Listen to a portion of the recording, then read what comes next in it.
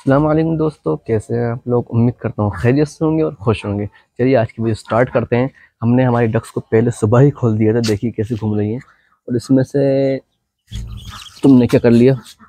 इसने यार अपने मुँह को ना शायद पानी में डुबो दिया हुआ पानी पीते पीते, इसलिए इसने अपना सिर्फ़ मुँह गंदा कर लिया। देखिए कैसा हो गया। चलिए कोई नहीं, धूप में सूख ही जाएगा। जब हम बाकी को खोल देते हैं। पहले इसको निकाल लेता हूँ कड़कनाथ वाले को, ठीक है? लेकिन ओ तुमने तो उसको नीचे गिरा दिया। यार, इसको नीचे नहीं गिराना था अपन को, यार। इसको ऊपर रखो।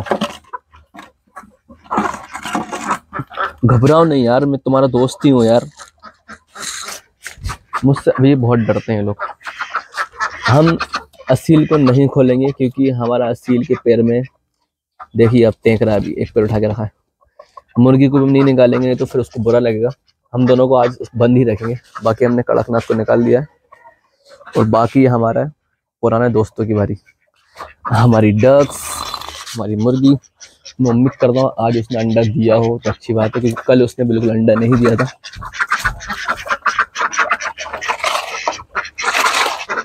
चलिए भाई, बिस्मिल्लाह कल निकल जा ये देखो आप। ये हमजा की मुर्गी, निकलो बाहर। अंडा। ये क्या हो गया? ये क्या हो गया?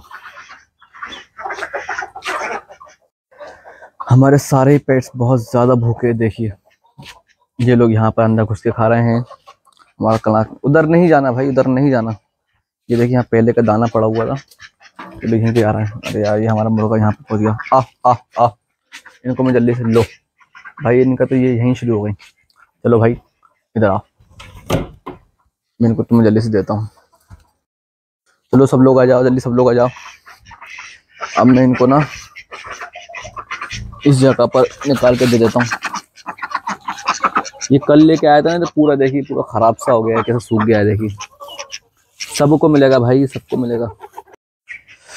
देखिए, मैंने इसको बिल्कुल बारीक काट दिया है। ये देखिए। हमारा माशाल्लाह कड़कनाथ का मुर्गा भी खाना शुरू कर रहा है। अभी कुछ दिनों से बिल्कुल भी नहीं खा रहा है, बहुत कम खा रहा है, जैसे इसकी हालत है, माशाल्लाह। उसके हिसाब से उसको बहुत ज़्यादा खाना खाना चाहिए, लेकिन ये खा ही नहीं रहा है।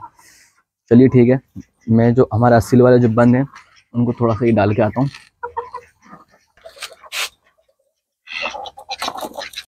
मैंने चारा यहाँ पर डाल दिया है, ये देखिए मुर्गी खा रही है। लेकिन हमारा मुर्गा जो है वहाँ पर बैठा हुआ है। देखो, तुम्हारे वजह से ना मुर्गी बाहर नहीं निकल पा रही। तुम और लड़ोगे ना तो ऐसे तुम्हारा पेट टूटेगा। इसने फाइट करी थी इस वजह से, ये लड़ने इस वजह से चल नहीं पा रहा है। और आज हमें कैसे भी करके इसकी टेबलेट लेके आनी है। चलिए हमने उसको डाल दिया है। आ।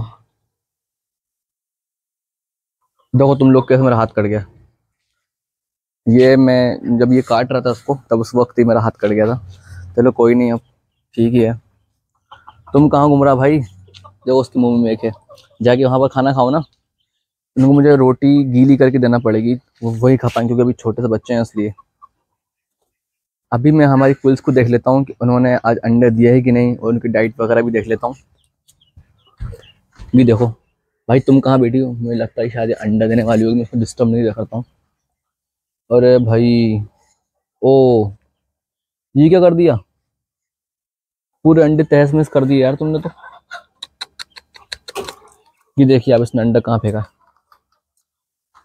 एक इसके अंदर पड़ा हुआ है एक नीचे पड़ा हुआ है और तो साइड में। ओ। इसने तो अंडा फोड़ दिया यार। इसने अपना अंडा फोड़ दिया देखिए।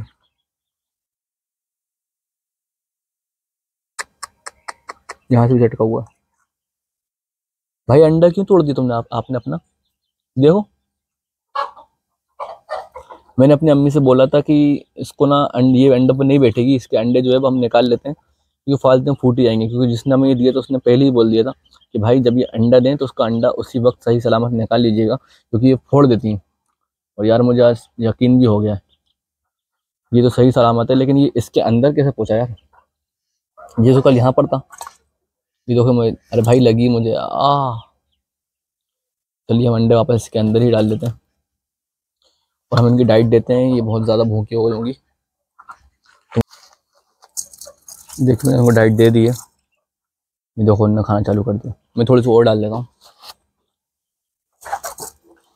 बस थोड़ा सा पानी भी डाल लेता हूँ। ये पानी चेंज ही कर देता हूँ। ये तूने पूरा गंदा कर दिया। भाई, मैं इनके लिए पानी लेके आ चुका हूँ। चलो भाई, गेट खोलो।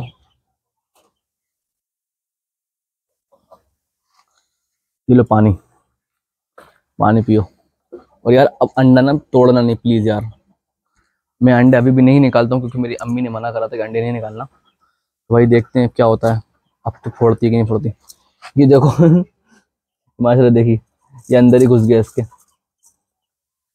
चलो मैं इसको डिस्टर्ब नहीं करता हूँ चले जाता हूँ। और यार, मुझे लग रहा है शायद ये अंडा देने वाली होगी।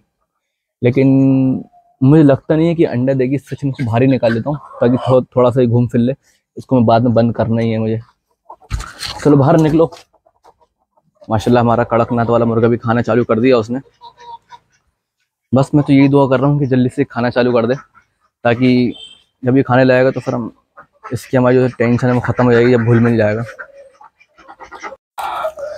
ठीक है फ्रेंड्स आज की वीडियो में सिर्फ़ इतना ही। उम्मीद करता हूँ ये वीडियो आपको बहुत ज़्यादा पसंद आई होगी। एंड एंड मिलते हैं नेक्स्ट वीडियो के अंदर। प्लीज़ मेरे चैनल को सब्सक्राइब कर लीजिए, इस वीडियो को लाइक कर लीजिए। मुझे आपकी सपोर्ट की बहुत ज़्यादा ज़रूरत है, क्योंकि मेरे वीडियोज़ पर अभी ना बिल्कुल व्यूज़ हैं और ना लाइक्स हैं एंड मेरे सिर्फ़ दो ही सब्सक्राइबर हैं। प्लीज़ जो जो इस वीडियो को देख रहा है, इस वीडियो को लाइक कर लीजिए प्लीज़